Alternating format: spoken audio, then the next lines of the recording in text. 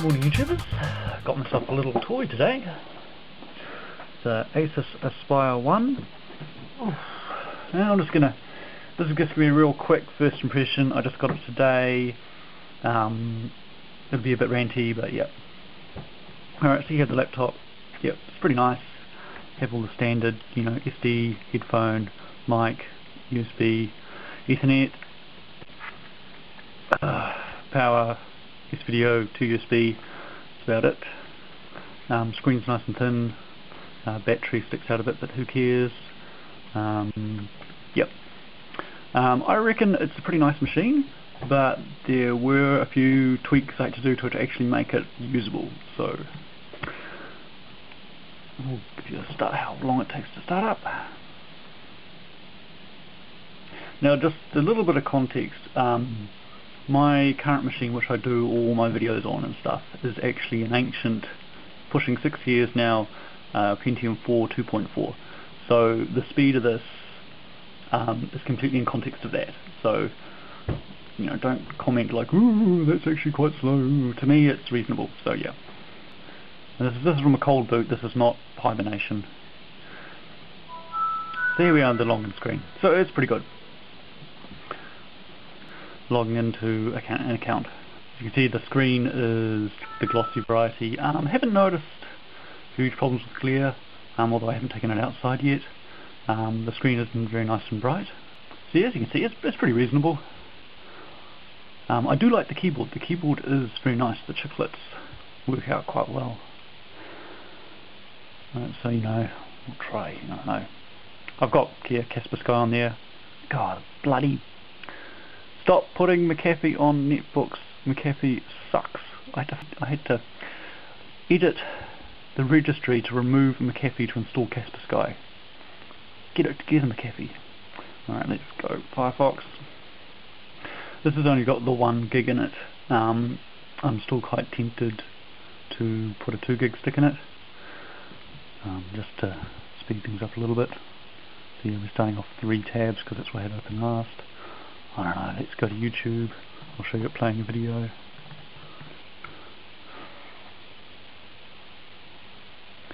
Dum -ba -dum -dum. Full screen. Force Unleashed Deadloop. Trackpad is sort of got this multi-gesture thing, but it really doesn't work so well. You're supposed to put two fingers together and sort of drag them down to put the screen down. It doesn't work so well. Yes and no Acer. Um, the forward and back works better sometimes. Not today. Oh, let's get this video going. With the Force Unleashed franchise as a whole, we really are trying to make superhero games. So as you can see, the, the video at 3 360p is fine. I mean, you're not really going to get any... You know, huge. Well, so yeah, it's pretty competent with that. Um, Try loading out something a little more hardcore. I've got um, I've got Photoshop CS1 on here, and yes, it's usable. And no, I'm not putting CS4 on it. So yeah, that's that's not too bad.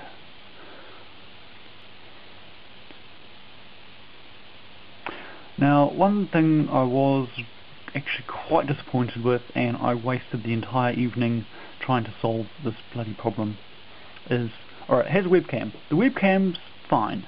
You know, it's not wonderful, has decent quality, good low light, um, the white balance is a bit all over the place, but uh.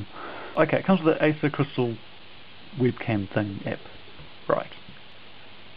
Yep. This thing can't record video. It only takes snapshots. What good is that to anybody? So I spent the entire evening trying to capture actual video from this thing. Um, turns out uh, the new Windows Live Movie Maker. You know, I don't use Movie Maker, but last time I had a look, it had an option for capturing from webcam. Is that option here now? No, it's not. Just add videos and photos. Well, that's not very helpful, is it? No option, no capture from webcam option anymore. So I thought, oh, I'll just go down, I'll just go and download um, Movie Maker for Vista. So I went and downloaded that and I thought, oh, it's going to solve all my problems. No! No option to import to capture from webcam again! Oh, what's going on? So I ended up having to trawl through lots of programs and found this nice one called Free Web Recorder which finally lets me record, look, capture, start capture. Bloody terrible.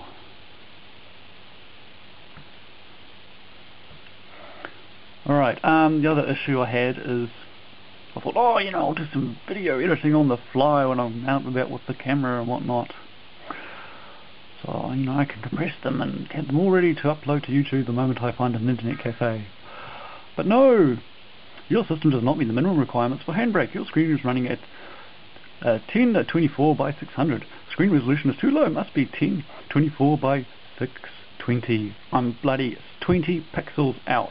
Good grief. So then I had to uh, do the resolution hack. So I had to go into the registry and flip a bit that said the graphics card did indeed support scaling. And so now, when I go I now have the spanking new option of going up to 1152 by 84864 which solves so many problems. So let's keep that setting. So yeah screen looks really squashed now but guess what I can do I can open up Handbrake and actually compress some videos so I don't know who to point the finger at for this, whether Handbrake not being flexible enough or Windows for just not giving me enough options. Why I couldn't just virtually extend the desktop out and just sort of shunt it around, I don't know. Uh, so yep, now I can compress things with Handbrake, and now I can operate uh, Premiere 2 without too many problems. So overall, after I got those stupid problems fixed, um, I'm quite happy with it. But just as a little caveat, you're going to have to do some tweaking to get the most out of it. Which brings me to my next point. Alright, I thought, you know, oh, you know, I'll make some restore CDs in case the hard drive craps out. Ooh, no writing drive failed. Is there an ISO option? No. Shame on you, Acer. Shame on you for not being able to make a standard ISO image so I can burn it on another machine. So now I have to take half my other computers apart, the DVD writer in an external USB enclosure and burn a disk direct from the computer. That is sloppy. Think about it. Jesus, you know, there's bloody probably open source ISO writers out now. So overall, if you want to get a netbook, um, this is one I would recommend, um, with the caveat that you will have to do a little bit of tweaking to get everything working, um, you will have to go and find yourself a free webcam program to actually record from the webcam. Um, unless you upload direct from YouTube, which uh, you're lucky because you have a decent inter internet connection.